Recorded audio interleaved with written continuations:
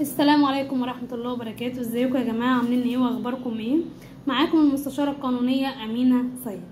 هنتكلم النهاردة عن أهم الدفوع القانونية في قضايا في قضايا إيه، إحراز السلاح الأبيض. طبعا قبل ما نتكلم في أي حاجة خلينا متفقين كده إن إيه، قضايا إحراز السلاح الأبيض أو القضايا دي عموما بيكون في دفوع أساسية. دي بيبقى لازم ذكرها وفي دفوع تانية بتكون آه على حسب ملابسات القضية أو على حسب حدوث ال- القضية نفسها.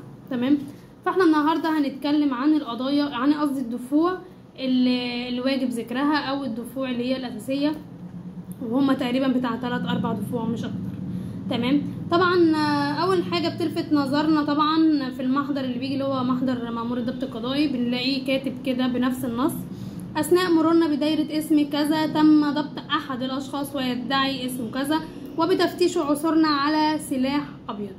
بيكون هو ده النص عموما اللي بيكون مكتوب في بداية المحضر طيب إحنا بقى بنتكلم في أول دفعة. أولا بطلان القبض والتفتيش وما تلاهما لعدم وجود حالة من حالات التلبس.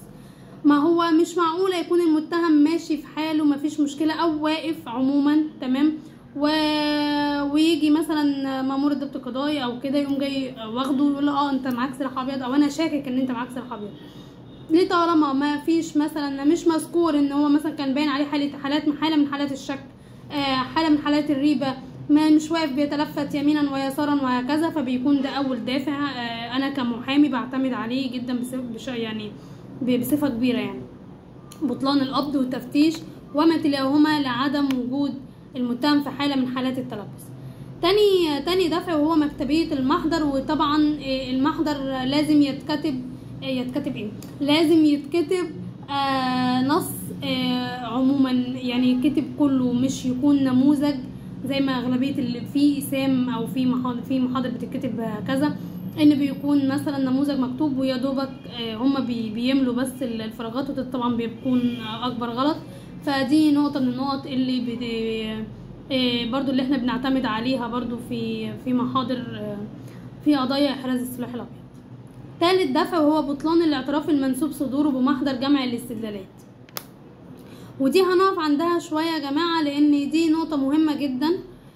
لأن آه، آه، الم- السلطة المختصة الوحيدة اللي من حقها تستجوب المتهم ويكون ويكون المحضر على وجيم سؤال وجواب هي النيابة العامة فقط وليس مأمور الضبط القضائي.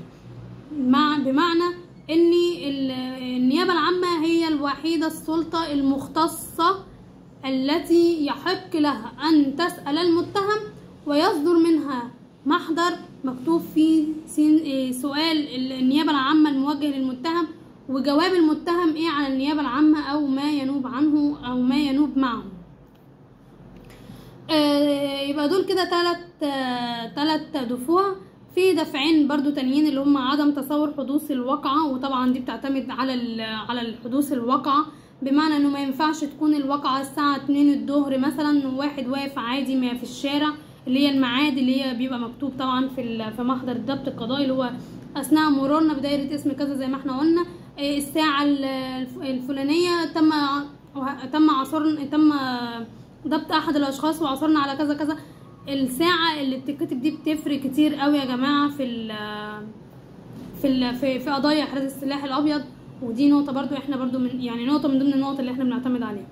طبعا عدم وجود آه، شهود آه، يثبتوا آه، حدوث يثبتوا حدوث الواقعة أو يثبتوا ال- الملاب- الملابسات اللي حدثت في في واقعة ال- أو في في قضايا إحراز السلاح الأبيض. دي برضو نقطة مهمة جدا. أنا كمحامية أو أنا كمحامي بعتمد برضو عليها جدا يعني. فدي كده كانت الدفوع دي كده كانت دفوع وليست الدفوع. دي كده كانت دفوع من الدفوع الرئيسية اللي المحامي بيعتمد عليها وأول ما بي بيلقي تركيزه وأول ما بيلقي نظره بيلقي نظره على هذه الدفوع. ثم بعد ذلك الدفوع اللي هي تكون معتمدة على الملابسات بتاعة القضية. وظروف القضية وظروف أوقاتها وهكذا. كانت معاكم المستشارة القانونية أمينة سيد وعلى لقاء آخر وفيديو آخر. شكرا.